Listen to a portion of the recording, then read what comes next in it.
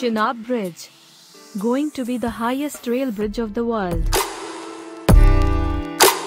The arch bridge will help to connect Udhampur and Baramulla district. The bridge can withstand a 40 kilograms TNT blast.